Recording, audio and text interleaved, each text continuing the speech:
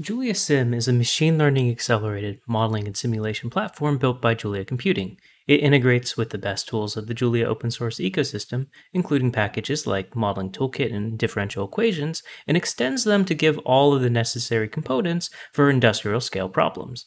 You can learn more about these open source tools from the Simulating Big Models with Modeling Toolkit workshop that we just ran at this JuliaCon. The recording is available on YouTube. Here, I am showing the circuits module from the JuliaSim standard library to accelerate the workflows that we demonstrated in the workshop. I pulled in the necessary components from the standard library and used the connect statements to generate the composed model. The simulation is then ran on the Julia Hub Cloud Compute platform in a way that can automatically scale depending on your compute needs. This entire system is an interactive modeling framework, and so you can easily check things like what your current equations are and use the simplification techniques and more easily debug what you're working on.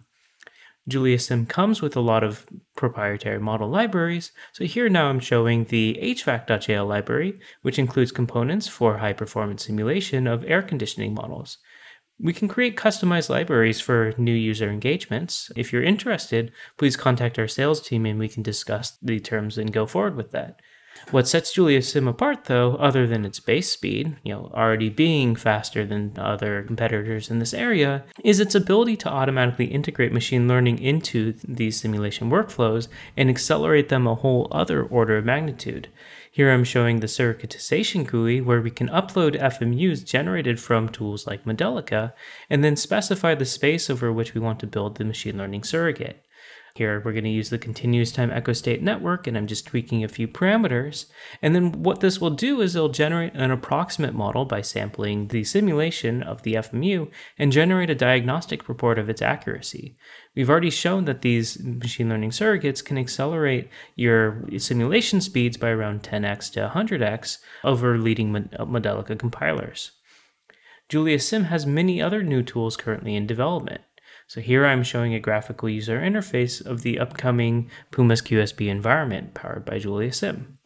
It allows for quickly building graphical representations of chemical reaction networks, which can then be directly simulated through the Catalyst and Modeling Toolkit.jl tools. This will soon be integrated directly into VS Code environment in a reactive form so that it automatically generates Julia files that you can interact with, you know, and you know, click in the GUI, click in the Julia code, go back and forth, similar to a workflow like Pluto.jl. GUIs for other domains like acausal modeling are coming in the near future. Thank you for watching, and if you're interested in any of these tools, please get in touch. If you're interested in any custom developments that are in this area of modeling and simulation, please get in touch. Julia Sim is still young and can definitely be molded to the needs of our customers. Thank you very much.